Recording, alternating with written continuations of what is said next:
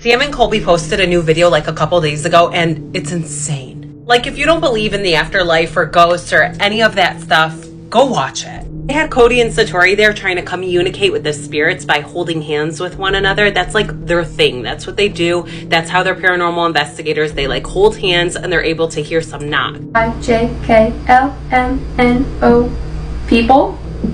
A B C D E F G H A B C D E here.